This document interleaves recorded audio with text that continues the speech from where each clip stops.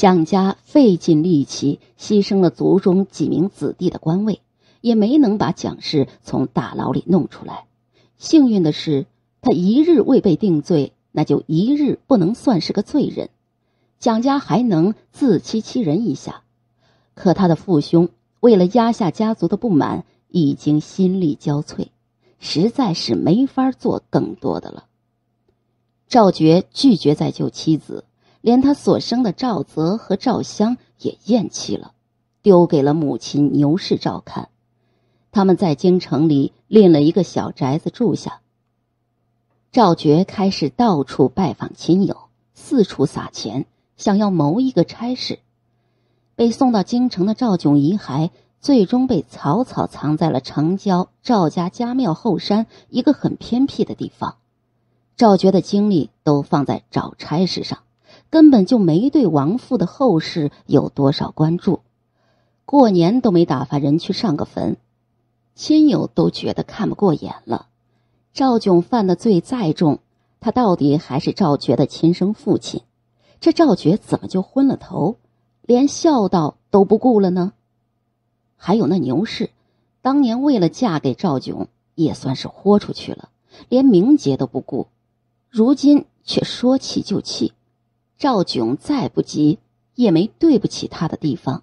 传言还是因为听了他的谗言，方才会对继母嫡弟下毒手的。一出事，他撇得倒清。如此狠毒的妇人实在少见，也难怪会教养出赵觉这样的不孝子了。愿意帮助小长房的人更少了，倒是有一位赵老郡公爷的旧部，不知出于什么心理。给赵觉弄了个锦州附近县城的九品巡检之位，这种芝麻绿豆官儿还是在边境，就是个炮灰的命。赵觉从前是绝对看不上的，可他却欢欢喜喜的打包行李准备上路了。皇帝这边的人已经迅速盯上了那位郡公爷旧部。张氏听完卢云鹏讲述的案情发展后。沉默了许久。皇帝没有下旨让赵伟袭爵，不过广平王说了，等赵伟再大几岁，旨意就会下来的。但张氏已经不再关心这件事了。小长房为了这个剑南侯的爵位，把一家人搞成如今这个下场，可见这是个祸根。他说：“伟哥还小呢，爵位的事不着急。”我们一切听从皇上的旨意，替我谢过广平王殿下，请他不必再为此事费心了。我们祖孙三人如今过着清静日子，倒也舒心。卢云鹏愣了愣，随即恭敬的应声退了下去。张氏长长的叹了一口气，对着里间探头出来偷看的孙子孙女儿微微一笑：“好了。”案子算是暂时告一段落，小长房有那样的下场，也算是报应。往后我们不必再理会那边，只管过好自己的日子就行。赵秀眨了眨眼，露出一个灿烂的微笑。赵伟大声的问：“祖母，卢小二告诉我，后日十九拓林有庙会，咱们去看吗？”转眼五年过去。已是成庆六年的暮春三月，再过三个月，赵秀就要满七周岁了。曾经连路都走不稳的小小孩童，如今高度已经四尺有余，比同龄的女童都要长得高挑些，五官生得越发的秀丽出尘，已经隐隐可以看出是个美人胚子。人长大了，自然跟以前小时候不能比。他如今也读了几年书，针线活、管家技能和仪态规矩什么的都学了不少。出去见人也是叫人挑不出错来的小淑女一名，只是在家里少了忌讳，难免要露出点本性来。张氏宠爱孙女儿，只要赵秀不是做了太过分的事，是不会约束她的。赵秀心里常常的庆幸。有一位思想开明的长辈，真是太走运了。他完成了今天的书法练习，揉了揉发酸的手腕，再看一眼旁边厚厚一叠画册，犹豫了一下，决定还是先行休息的好，学习也要劳逸结合嘛。张氏对孙子孙女的教养非常严格，孙子大了以后就要送出去学堂里求学，孙女儿却是日日在他跟前的。他本是书香名门之后，只是小时候家境清贫，因此在学习方面就留下了不少的遗憾。后来嫁进赵家，有了条件，就尽他所能的去学习更多的东西。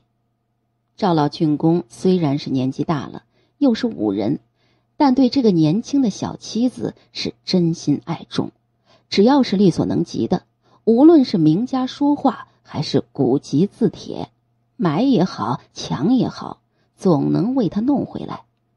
他常年在外征战，张氏凭着这点爱好，非常平静的熬过了艰难的十几年，从不给他添麻烦，因此也越发的受他敬重。张氏如今有时间、有条件，也有学问水平，见小孙女儿对这方面颇有天分，自然是喜出望外，费尽心力的教导了。赵秀其实心里也曾后悔过，当初表现的太不知收敛了。他本是成年人穿越而来，小时候在现代也曾上过兴趣班，学过书法绘画，水平不算很高。但如果是以初学者的身份来施展的话，自然会叫人惊艳。没想到张氏就误会了，以为他真有过人的天赋，更加用心的教导。赵秀心中叫苦，但看到祖母期望这么高，又不想让他失望难过。加上赵秀本人确实对书法绘画颇有兴趣，就更加的用心去学习了。几年下来，成果斐然。张氏对孙女的学习成果非常满意，更惊讶于他在绘画一道颇有些不俗，画法技巧都与别人不同，隐隐有些独成一派的迹象，所以在这方面更注重些。赵秀没法解释，其实他是把从前学过的西方水彩画法和光影处理技巧给用在了国画当中。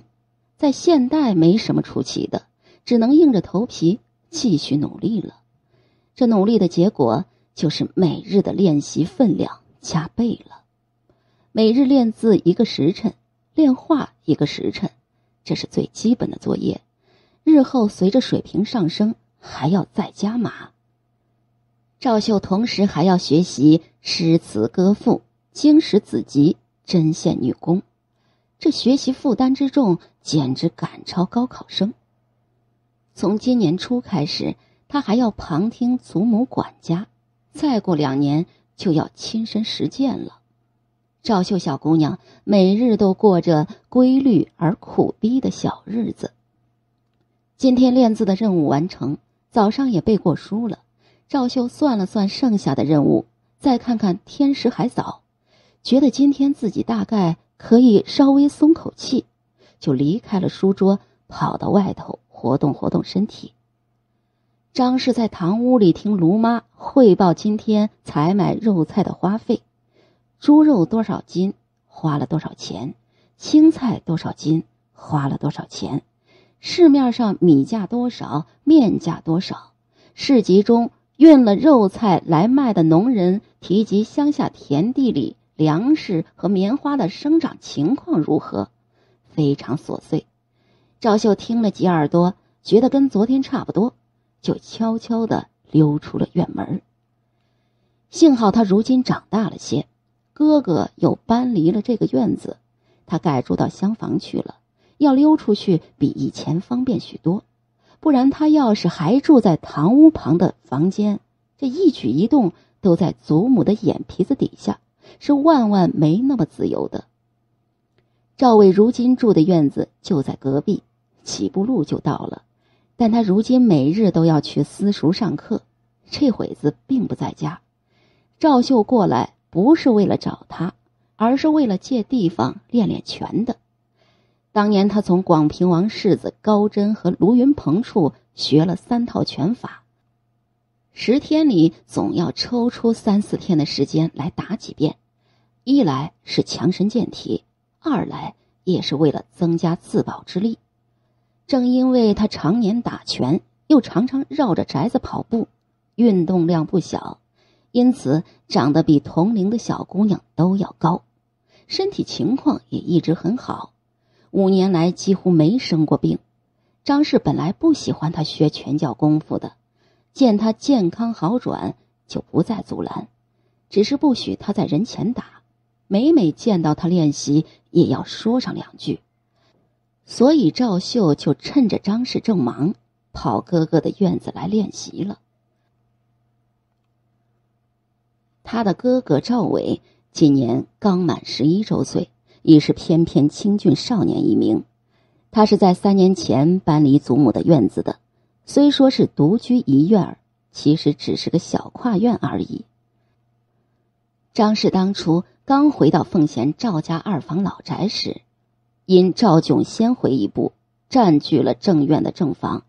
他搬进来时，虽然赵炯不在，他却不耐烦见到他的东西，所以就住进了正院后头的院子。那里本就是为家中长辈所设的，即使没有帆船的变故。张氏身为老郡公的继室，也该住在这里，因此无人认为这样不妥。后来赵炯坠马受伤，被仆从高成送进了东院，暂避张氏锋芒，这正院就空了下来，被张氏当成是待客的地方。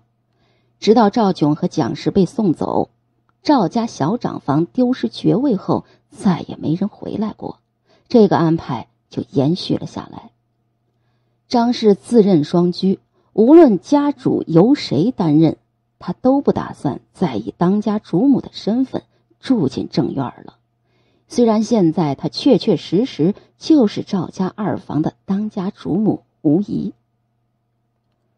正院后头的这个院子地方不小，房屋用料也是上佳。当初郡公爷命人建造时。本就打了年纪大了以后带着妻子回来养老的主意，虽然一直未能成行，但屋子却是没人胆敢偷工减料的。当中又用了不少太祖皇帝传下来的巧妙机关，使得这屋子虽然外表看着平常，实际上住着却相当舒适。若不是因为赵伟年纪渐大，张氏也有意培养他独立自主的能力。不希望他因为常年养在妇人之手而少了男子气概，故而极力的赞成他独居一院。他还真不介意在这个院子里多住几年。不过张氏也舍不得孙子离得太远，更因为老宅占地大，东西中三路前后五进房屋外，又有多个附着的小跨院，不认得路的外人说不定逛着逛着就迷了路。如今他们只有祖孙三人住在这里，男女仆从人数也不多，许多院子都锁了起来。